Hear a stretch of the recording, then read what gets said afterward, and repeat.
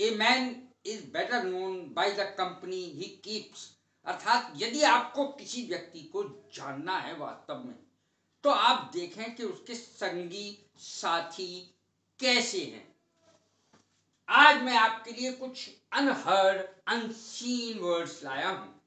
यानी ना देखे, ना सुने, ऐसे शब्द लाया हूँ जो आपने बहुत ही अगर देखे होंगे तो कम देखे होंगे। सबसे पहला शब्द है जैनी। जैनी शब्द का अर्थ है मस्खरा। ये एक एडजेक्टिव भी है, नाउन भी है। मस्खरा, ठिठोलिया। He is जैनी he is a zany अर्थात वह एक मस्खरा है, ठिठोलिया है। Kapil is a zany Kapil Sharma. Kapil Kapil Sharma is a zany अर्थात कपिल एक मस्खरा है, ठिठोलिया है। इसका programme the Kapil Sharma show आता है, जो सब लोग बहुत पसंद करते हैं। और वर्षों से आता चला आ रहा है ये प्रोग्राम, और वर्षों से वो व्यक्ति हंसाता चला आ रहा है। Kapil Sharma makes us laugh by his zany tricks यहाँ पर एडजेक्टिव की तरह इस्तेमाल किया है मैंने। जैनी ट्रिक्स मस्खरे वाली ट्रिक्स माने चाले, कर्तव्य। अपने मस्खरे वाले कर्तव्यों से कर्तव्यों से वह हंसाता चला रहा है, या हंसाता है? यहाँ पर तो हंसाता है इसकी है। कपिल शर्मा मेक्स अस लाभ हमें हंसाता है। पॉजिटिव वर्ब है ये। बाई हिज जैनिट्रिक्स अपने कर्तव्यों के द्वारा मस्खरे कर्तव्यों के द्वारा मस्खरी परफॉर्मेंस के द्वारा हमें हंसाता है। दूसरा शब्द है जैप। तेज़ी से जाना इसका अर्थ होता है। आजकल आपने देखा ही होगा the young boys zap on their bikes these days आजकल ज़्यादातर लोग अपनी बाइक्स पर, यानी मोटरसाइकिल पर बहुत तेज़ी से चलते चले जाते हैं, बहुत तेज़ी से जाते हैं। चाहे किसी का एक्सीडेंट हो, चाहे कोई गिरे, चाहे कोई मरे, बहुत तेज़ी से मोटरसाइकिल पर जाते हैं। क्यों? ये आप सबको पता है। The young boys zap on their bikes these days आजकल बहुत तेज़ी से बाइक्स पर जो यंग जनरेशन के बच्चे हैं, विशेष रूप से लड़के, वो निकल जाते हैं बाइक्स पर।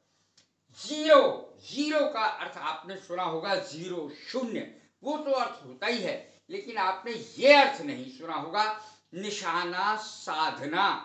जो मिसाइल होती है उसका निशाना पहले से ही साधा जाता है और एग्जैक्ट स्थान पर उनको गिराया जाता है। The missiles were zero in on शब्द आएगा इन अलग है ऑन अलग है। In on the enemy camps निशाना साधा गया। मिसाइल्स का निशाना दुश्मनों के कैंप्स की तरफ़ साधा गया। या दुश्मनों के कैंप पर साधा गया। जैप बेहोश करना भी इसका अर्थ होता है। जैप का he was zapped before heart operation उसे हार्ट के, दिल के ऑपरेशन से पहले उसे बेहोश कर दिया गया। ही वॉज़ जैप्ड बेहोश कर दिया गया।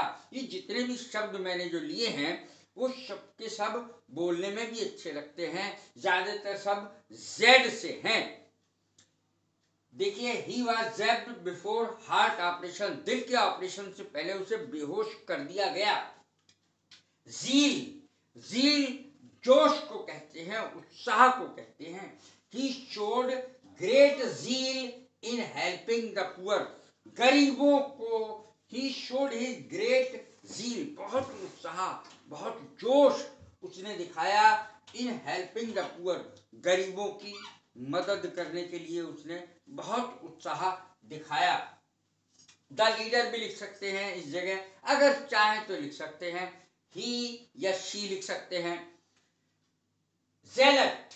जेलट का अर्थ समझ लें। Z E A L O T zealot कट्टरपंथी को कहते हैं। धार्मिक कट्टरपंथी some people are religious zealot अर्थात कुछ लोग धार्मिक कट्टरवादी होते हैं, धार्मिक कट्टरपंथी होते हैं, कुछ लोग some people some people are religious zealots अर्थात कुछ धार्मिक कट्टरपंथी होते हैं कुछ लोग। जूम अब जूम को देखें कि इसके जो उच्चारण है कितना बढ़िया और उसी के अनुसार इसका अर्थ भी है।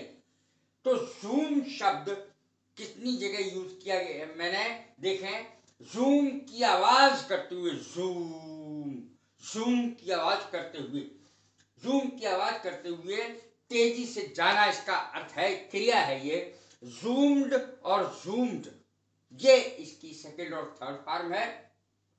देखें the aeroplane zoomed across the sky zoom करते हुए आकाश में निकल गया। तेज़ी से आकाश में निकल गया एरोप्लेन, यानी हवाई जहाज़। जूम करके निकल गया तेज़ी से आकाश में। The motor bike zoomed past us, हमारे पास से मोटरसाइकिल जूम करके तेज़ी से निकल गई। अब देखें, जूम इन माने क्या होता है? जूम इन जो हमें दूर की चीज़ को पास दिखाना होता है। जूम लेंस की मदद से दूर की चीज़ को पास दिखाना होता है किसी भी चीज़ को तो हम जूम इन लेंस की मदद लेते हैं, जूम लेंस की मदद लेते हैं, अंग्रेज़ी बनेगी जूम इन।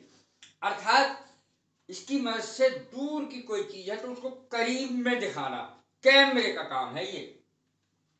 देखें, film the whole building first, पहले पूरी बिल्डिंग का, इमारत का फ़ोटो लो और उसके बाद देन माने तब।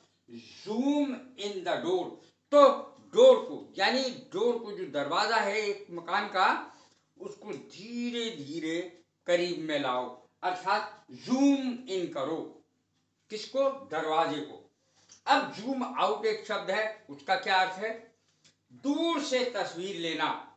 जैसे हमें बहुत पूरी भीड़ की तस्वीर लेनी है, पूरे मेले की तस्वीर लेनी है। जूम आउट लेंस के द्वारा ही ऐसा होता है। दूर से तस्वीर लेना जिससे वाइड दृश्य वाइड सीन आ सके। मान लिया पूरी भीड़, पूरा मेला दूर से लेनी पड़ेगी तस्वीर। तो देखिए, दूर से तस्वीर लेना जूम आउट ये भी लेंस की मदद से होता है। The camera zoomed out to show the crowd zoom out किया गया कैमरे को जिससे पूरी भीड़ आ सके। The camera zoomed out to show the whole crowd पूरी भीड़ आ सके इसलिए जूम आउट किया गया कैमरे को। जैनिथ माने क्या होता है? देखें जैनिथ माने होता है सर्वोच्च शिखर, चाहे वो व्यक्ति का हो और चाहे वो सूरज का हो और चाहे वो चाँद का हो। देखें, सर्वोच्च शिखर। She reached at the zenith of her career.